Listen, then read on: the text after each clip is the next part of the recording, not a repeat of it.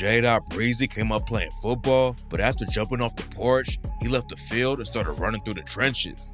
Now, he's one of the hottest rappers in Jacksonville, and today, we're breaking down how he took over the scene and got wrapped up in one of the deadliest wars in the rap game. J. Dot came up in Jacksonville being raised by his mom because his dad was in and out of jail all the time. J. Dot wasn't gangbanging back in the day, but his family was always struggling to even put food on the table, and he ended up getting active at an early age. Before we got involved with the beef between Yungeen Ace and Foolio, J Dot had already known a lot of dudes from both sides for a long time. In an interview with No Jumper, J Dot said he met Spinabenz when he was just a kid because his mom's friend lived in the same area. A lot of the dudes he knew were already repping sets, but J Dot just made his own lane in the streets and wasn't affiliated with any gangs. He started stealing cars when he was in school, and Jada said that's what everyone was doing back then. Jacking whips like a trend in the city, and there were a bunch of teenagers showing up to parties driving stolen cars. He got away with it for a while, but eventually J. Dot caught a charge over a stolen whip and got locked up. He had been rapping since he was like 11 years old, but when he had to sit down on the inside, J. Dot started taking it more seriously. He was rapping for anyone who would listen to him, and when he talked to the homies on the outside, J. Dot told him he was gonna become a rapper when he came home. At the same time, J. Dot had real potential to make it far with football. Right before he got locked up for the carjacking, his team won a state championship, which is a really big deal in Florida. J. Dot still had one foot in the streets though, and he ended up catching a gun charge right after that and got locked up again. Before he went inside, Jacksonville was violent, but not anything like it is today. There was definitely gangs getting into street drama, but back then, dudes would still settle it with fights instead of just shooting at every op they spotted. J-Dot was cool with dudes from both sides before he went in for the gun charge, but while he was locked up, everything changed. There's a lot of different rumors about how it all started, but this is how the war in Jacksonville allegedly popped off. In 2017, Foolio's cousin Zion Brown was shot and killed by a dude named DeAndre Thomas. Thomas was tied with Yungeen Ace, and they even caught a case together in 2018 for allegedly robbing the plug and letting shots off at him. Ace skated on the case, but that same year, he was involved in the shooting that really set the war off. Ace went to dinner with his brother and two homies to celebrate one of their birthdays. Usually they wouldn't be moving around in public like that, but that night they wanted to just chill and have a good meal at a steakhouse. Everything was cool at first, but when they were leaving the restaurant, a shooter rolled up and started dumping shots. Ace's brother and two friends were all killed, and Ace barely survived after he caught eight bullets. That night changed Jacksonville forever, and bodies have been dropping on both sides ever since. In 2019, another Jacksonville rapper named Boss Goon was shot and killed right after he was released from prison. Boss Goon wasn't just another street dude though. He was the older brother of Ace's homie K-So. K-So is allegedly one of the most savage shooters in the city, and he allegedly got revenge less than a month later by killing Foolio's little homie Bibby. Bibby and his homie were chilling outside of his crib when a shooter walked up and started shooting at them. Bibby tried to run away but fell to the ground, and that's when the shooter stood over him and ended him with a bullet to the back of the head. K-So wasn't charged immediately, but he started sending shots at Bibby on tracks like K-So Bitch, where he rapped, And you know we smoke little Bibby, bitch. K-So, bitch. Glocks and Rugers, we be hitting shit. We slipping shit. Don't run, we chase you down. We blitzing shit. We blitzing shit. Don't be bibbied out. We hitting shit. And shots a little bitch. Bibbied out. Then in January 2020, K-So allegedly took out another op in broad daylight when he killed a rapper named Lil Buck at a shopping center in Jacksonville. J-Dot had been cool with K-So for years, but he was also tight with dudes on the other side too. It wasn't an issue back in the day, but after the war popped off, he was forced to pick a side. After he came home from the gun charge, J Dot was ready to focus completely on football and rap. He dropped his first track on YouTube and racked up over 400k views while he was still on an ankle monitor, and he told his football coaches he was done with all the street drama. When you in a city like Jacksonville, it's not that easy though, and both sides were putting pressure on him. According to J Dot, Foolio's people were sneak dissing him, and then the situation got serious and changed J Dot's life forever. All he wanted to do was make music and play football, but the ops wasn't gonna let that happen. Dudes started showing up at his school and sending threats, and that's how J Dot got wrapped up in all the drama. One day, someone allegedly showed up with a gun, acting like they was gonna catch J Dot when he left school, and the school security officer heard about it and called the real cops. J Dot was watching football film with the team, but then he got called to the office, and the principal let him know that people were making threats on his life. The principal said that J Dot being at school would put other kids in danger too, and told him to stay home until the situation cooled off. J Dot did what he was supposed to and just chilled around for a month. Then he got the call that he could go back to school. But on his first day back, the dean told him he wasn't supposed to be there and took him back to the principal's office. Even though they're the ones who told J Dot to stay home, the principal said that J Dot had missed too many days, and that's when he left school behind and went all in with the rap game. Even if he wanted to go legit and get a normal job, J Dot said it wasn't possible because there was too much drama going on in the streets. He started rocking with Yungeen Ace's side of the beef, and not before long, J Dot was losing homies in the trenches. Back in 2019, J Dot's cousin Rollo was with Yungeen Ace and some other homies at a Hampton Inn when the ops ambushed them and started letting off shots. They chased him through a parking lot at the hotel, and Rollo unfortunately got hit in the body and was pronounced dead later that night. Rumors say that a dude named Tiki was involved with the hit. Tiki ended up getting killed not long after Rollo, and on the track No Name Dropping, J Dot allegedly dissed him and rapped, he say he smoked Rollo pack, that nigga winged up. Dig him up, that nigga dead. 762 to hit his friends. Yungeen Ace also dissed Tiki on his viral diss track against Foolio, Who I Smoke, when he raps, Who I Smoke, Tiki, in the hook. What's even crazier about the situation is that J got drunk on IG Live and started dissing Tiki. And during the live, he even said, I was on that hit, nigga. FNs and Glocks, nigga. I'm drunk and fuck, nigga. Nigga know I smoke. I'm bitch ass, dead ass niggas, and I was on that hit, nigga. J Dot started seriously dropping music in 2019, and it didn't take long for him to get some buzz on his name. He was racking up hundreds of thousands of views, but at the same time, the war in Jacksonville was getting crazier every day. And in 2020, he suffered another major loss. Lil Leaky was another dude from the east side of Jacksonville who was affiliated with a set called 1200. Leaky and J Dot had been homies since they was kids. Most of them ended up getting kicked out of school, so back in the day, they just go to each other's houses and chill. But according to rumors, Leaky was one of the most active dudes in the city, and he even allegedly tried to take out Foolio's girlfriend, Bubin Baby. Back in 2020, Bubin was driving Foolio's car to the gas station with a friend when a shooter rolled up and started letting off shots. Whoever pulled the trigger probably wanted to kill Foolio, but Bubin ended up getting hit three times, and one of the shots actually took her finger off.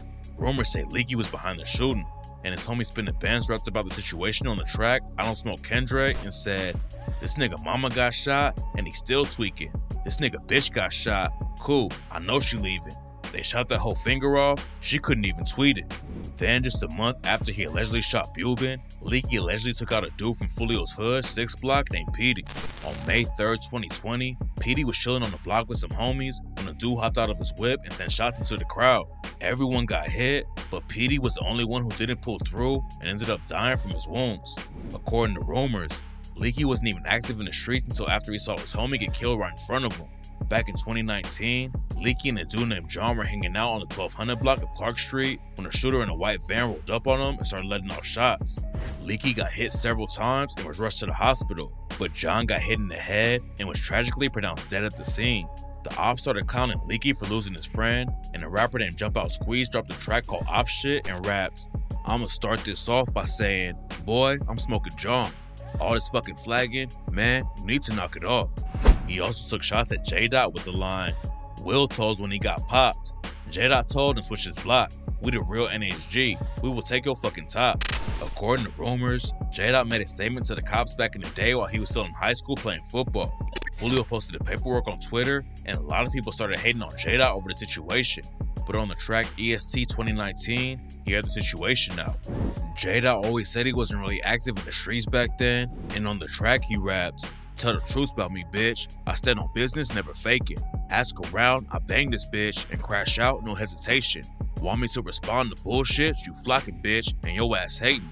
I said something in self defense. I was a minor ball playing. A follower just what I was. My image wasn't no fucking gangster. I hit the streets 2019 and I got proof. Go check the data. It's not clear how active J Dot really was in the streets, but his homies was definitely sliding on the ops. 10 days after Jump Out squeezed this J Dot and Leaky's homie John, he was standing outside an Amazon warehouse to apply for a job.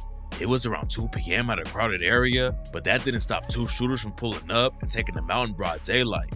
According to rumors, Leaky was one of the dudes who pulled the trigger on Jump Out. He was allegedly putting crazy pressure on the other side, but it all caught up to him a few months later. In September 2020, Leaky, Spinabenz, and a couple other homies were sitting in a whip at the intersection of Atlantic Boulevard and Monument Road when another car rolled through and started letting off shots. Leaky got hit up again and was rushed to the hospital, but this time he didn't pull through and was pronounced dead three days later. Leaky was one of Foolio's most hated ops, and he started taking shots at him on tracks like All Gas, when he raps, Shot my car up twice and hit my bitch. Now Leaky rest in peace. And on the track, Leaky, he said, 100K, he'll shake the room. Sweep his block, we don't need no broom. They ask me how high I am, I'm leaky high. I'm to the moon. Leaky was allegedly terrorizing the ops in Jacksonville, and after he died, Spinabenz dropped the track alone and raps, The feel shit real, the shit out here ain't for everybody. And I kill, kill, kill. I swear these niggas ain't caught nobody. And I know it's Leaky this and Leaky that. But if Leaky was here, he'll blow him down, and they don't mention that. Foolio hated him so much that he even got custom weed packs made with Leaky's face on them. And when he linked up with Lil Uzi Vert's artist Lotta Cash Desto, she joins in on the dissing and said, I'm a Foolio. He got me smoking on Leaky. Desto wasn't involved with the beef at all and wasn't even from Jacksonville, but she ended up getting shot and killed in Houston, and J Dot hopped on IG to diss her. Most people had no idea what the situation was about, so when J Dot clowned her death on social media, he ended up getting a lot of hate over it. In his interview with No Jumper, J Dot said that everyone was cool with Desto mentioning his dead homie, so he didn't understand why fans weren't keeping that same energy. I don't know why everybody mad. Like, I mean, there's no point in being mad. Y'all ain't give a fuck when she hopped on the song saying she was smoking my partner. Y'all supported that shit. So now the same person, the same deceased person that she's smoking, his friend spoke up and she done died. Now we done spoke on her. Y'all mad? Nah. Right. Come on now. Y'all know how the streets go. Stop playing. But then he admitted that he could have handled it differently and been the bigger person. I mean, I could have been a bigger person than I said nothing though. After bodies started dropping left and right in Jacksonville, J Dot ends up leaving the state for a while, and his homies didn't even want him to come back. They knew he had an even bigger target on his back since he was popping off in the rap game, and if he was in Jacksonville all the time, he could have easily been next. J Dot listened to them and stayed away for a while, and that's when he really started going hard in the booth. He was sitting in the studio every day and working on his style, and J Dot finished a whole album called The Creation while he was away from the city. When J Dot started blowing up outside of Jacksonville, he realized how far he could take it in the rap game if he avoided all the street drama. He said he's gonna keep it pushing till he's able to take care of everyone in his life, and he's also trying to inspire other kids to get out of the trenches. After his name started buzzing, a lot of dudes started calling J Dot for playing football back in the day. They think that winning a state championship means it's not really about that life. But J-Dot says they're just hating because he actually accomplished something. J-Dot also talks about how he's an influence on kids coming up and doesn't want them to think it's lame to be involved with sports and to stay out of the streets. J-Dot even moved out of Jacksonville completely, but he said it wasn't even because of the war going on right now. According to him, it's the cops who are always trying to jam people up, and he don't want to let them slow his career down. J-Dot might be trying to avoid the drama in Jacksonville, but that hasn't stopped him from beefing with Foolio the whole time. Foolio disses Leaky all the time, and J Dot clapped back on tracks like Reincarnated when he raps. Nigga dissed me and got shot in this shit. He say smoking Rollo, man, Foolio a bitch. I'll pull up on the six, cause my Glock got a dick, but I'll jump out with the Drake and run him down and take a piss. How you rap out gangster shit, but you ain't never did a hit. He also took shots at Bibby on the same track and said, Bibby in my blunt, I might try to mix dank.